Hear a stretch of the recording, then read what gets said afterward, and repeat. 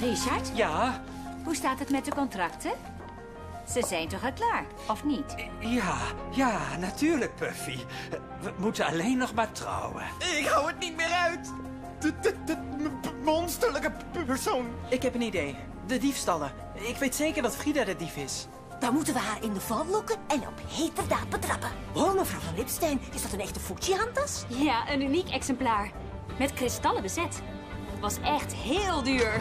Dit is toch een goede plek voor de tas, of niet? Snel, verstoppen.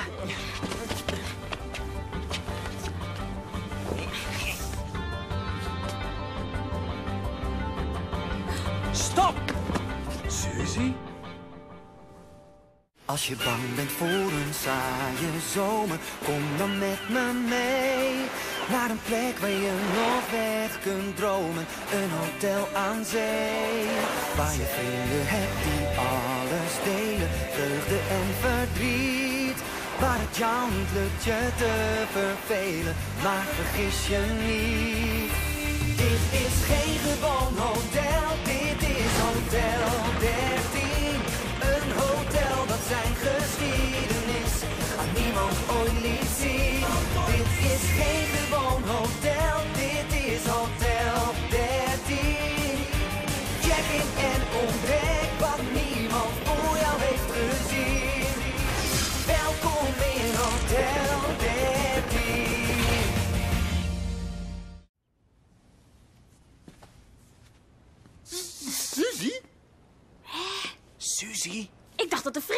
de dief was.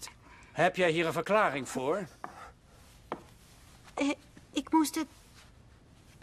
Nou ja, ik wou graag... Wat is hier mis? We hebben de dief. Suzy, ik bel de politie. De politie? Een zwaailicht voor de deur? Wat zullen de gasten wel denken? Ja, maar ik kan het toch niet zomaar laten gaan? Geen politie, Richard. Ik zorg wel voor een gepaste straf.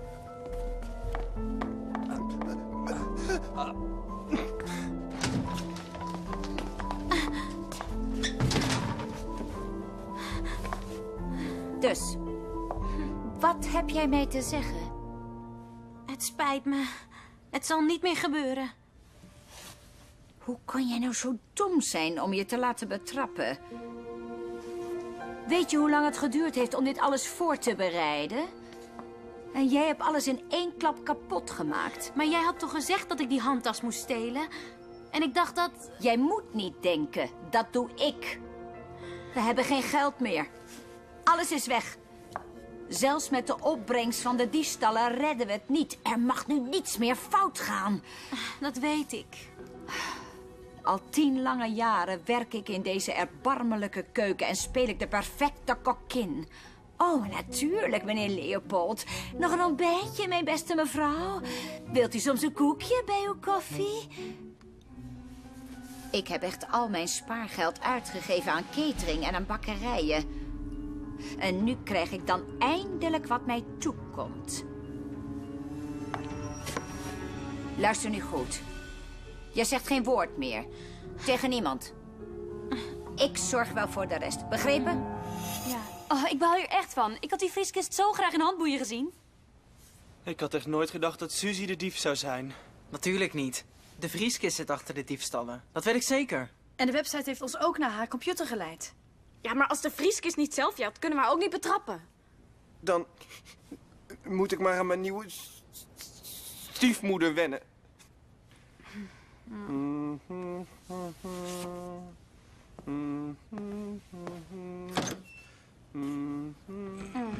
Ik weet misschien toch hoe we de vrieskist in de val kunnen lokken.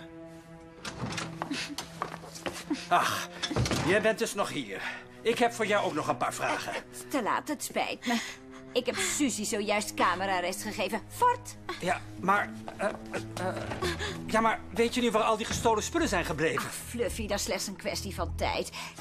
Heb je de notaris al gebeld in verband met de nieuwe eigendomscontracten? Nee, nu met die Ja, diefstallen... maar ik zou toch de helft van ons mooie hotel krijgen? Of wil je soms niet meer met me trouwen? Ja, ja, natuurlijk, dat weet je toch. Bij jou kan ik mezelf zijn. Ik heb nog een cadeautje voor je. Oh. Oh. Ik stoor me namelijk al heel lang aan je kale hoofd. Veel beter. Eh, beter? Ja, ik weet niet. Ik lijk wel op Elton John. Precies. Dat vinden de gasten geweldig. Jij wordt het perfecte uithangbord voor ons hotel. Kom, zeg nou. Oké, de vrieskist wil de politie niet inschakelen, omdat ze de spullen zo snel mogelijk wil verkopen. Dat betekent dat één van ons zich voor moet doen als koper. Iemand met fantasie en improvisatietalent. Wie? Ik? Goed, dat is geregeld. Ah. We maken via internet een afspraak met de vrieskist om wat gestolen spullen te kopen. Maakt niet uit wat, als het maar gestolen is. Ja, ja, ja, ja, ja, ja. Flo gaat naar de plek waar we afgesproken hebben om de spullen te kopen. Wat? Maar ze herkent hem toch meteen? Daarom moet hij zich ook verkleden. Waarom dan een berenkostuum? Geen carnavalskostuum, Flo. Je moet je zo verkleden dat de vrieskist je niet herkent. Ah. Anna, Liv en Victoria verstoppen zich bij de receptie en filmen alles. Dan hebben we een waterdicht bewijs. Heel simpel, niet dan? Je bent naast super knap ook nog super slim. Dat plan werkt nooit. Waarom niet? De Vrieskist merkt het meteen. Ze herkent Flo aan zijn kleding en zijn manier van praten. Hé, hey, geen probleem. Ik kan iedere gast in het hotel nadoen. Dank je, meneer Florien. Ik kom je zo dadelijk helpen na mijn kopje thee. Kom op, de Vrieskist is ook niet gek. Daarom verkleden we hem ook. Met een sjaal en een fopneus. Hm? Praat gewoon alsof je flink verkouden bent. Of nog beter, je praat gewoon helemaal niet. Weg met de vrieskist. Weg met de vrieskist! Hé, hey, Rut. Niet nerveus worden. Gedraag je gewoon heel normaal, oké? Oké, niet nerveus worden. Heel normaal gedragen. Oh. Ah! Oh, Neem me niet kwalijk. Ik ben geloof ik... Een beetje nerveus. Ja, ik merk het. Rut, we hebben nog maar één minuut, ja.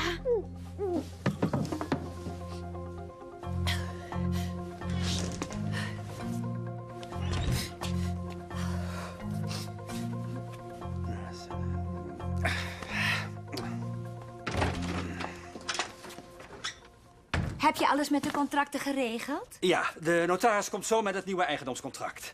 Goed. Eh, Ik moet nog snel even wat regelen. Ja.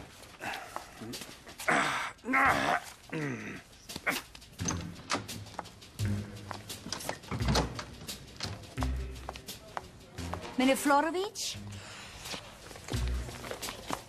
Hallo. Oh, het spijt me. Het spijt me. Ik, ik ruim het onmiddellijk op. Had u misschien niet liever ergens anders afgesproken, meneer? Waarom?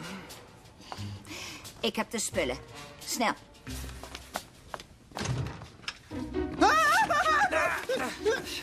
Wat is er nou toch? Er zit de dode marmot op uw hoofd. Wat? Dat zijn mijn haren, Jack. Mooi, hè? U, u bent een ander mens sinds die Frida hier is. Ja, maar ik voel me echt uitstekend. Ja, maar u, u heeft een de- de- dode ma- ma- ma- ma- marmot op uw kop. Ah!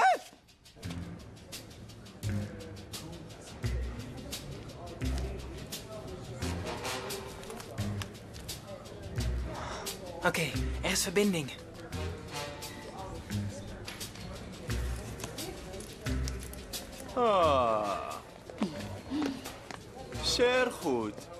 Is mooi. Is echt heel mooi. De hoogste kwaliteit, daar sta ik garant voor. We worden zeker goede zakenpartners. Flo? Oh-oh. Fluffy!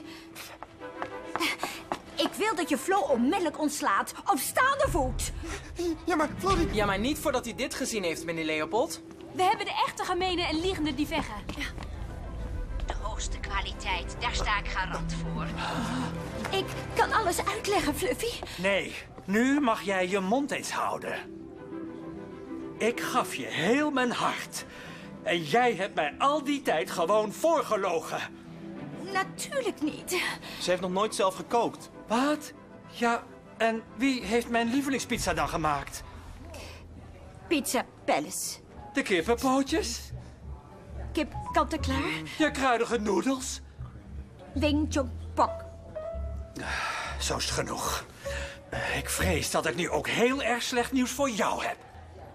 De bruiloft zeg ik bij deze af. Jij gaat alle eigenaren hun spullen weer teruggeven.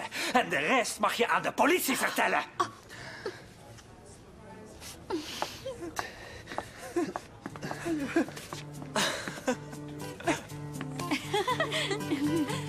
Ladies. Tada! Ja, wat goed! Nu kunnen we eindelijk terug naar het verleden reizen. En Magellaan zoeken, zodat ik mijn leven kan redden. Ja, en zodat we alles met Lily kunnen regelen. Momentje, weet je zeker dat je terug wil naar het oude heden? Ik bedoel, het is toch mooi hoe we de dingen hier veranderd hebben? Victoria en Tom... Au! Ja, dat weet ik zeker. Tom, Anna, Cliff. Op een nieuwe start in Hotel 13. Yes! Frida was een bedriegster.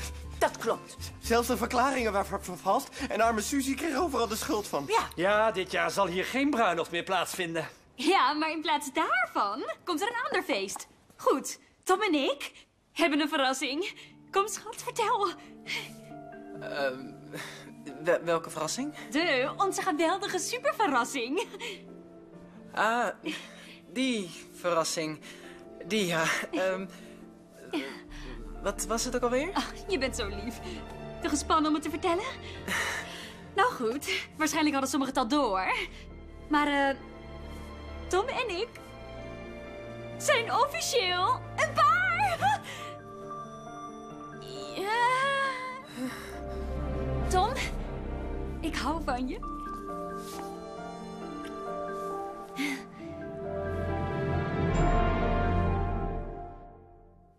Hartelijk welkom. Magellaan zal vrijdag terugkomen.